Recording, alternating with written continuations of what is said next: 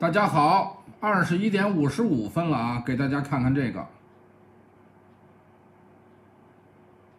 在我写这台车的，仅仅是因为在我写这台车的时候，当时我遇到了一些让我觉得这个品牌在设计上一点都不人性化，而发表了我自己的观点。我就想测试一下它的点火，你猜怎么着？平时的一般的通用十六个十六的火花塞套筒嘛，插不进去，人家要专用的。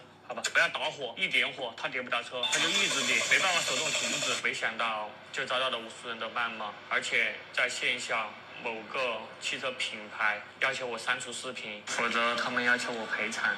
我仅仅是一个修理工，我从来都没想到，因为我的一些观点和看法会引起这么大的轩然大波。语言真的是一把双刃剑，今后我一定会谨慎言行，给大家传播更多的修车小知。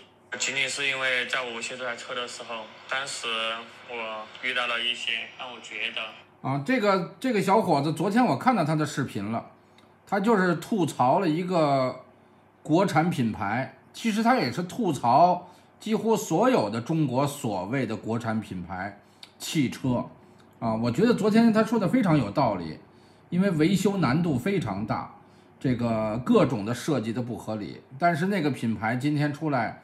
对吧？威胁他了，他也只能是忍气吞声啊。再给大家看看这个啊，这有一段文字，嗯，说我叔，他叔叔啊，不久前跟我爸妈说，单位下文件了，通知年轻人结婚生小孩了。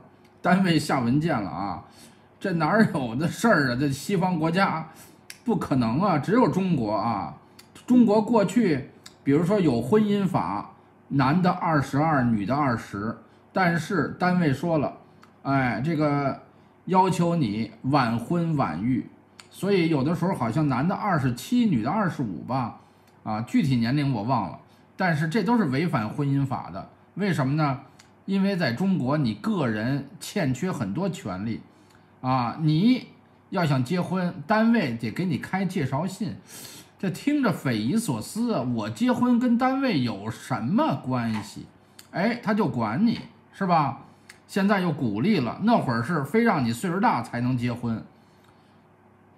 说说的算委婉的，大概就是二胎起步这意思啊，就你至少生俩。说这是一个国企，朋友的家属是司法局的。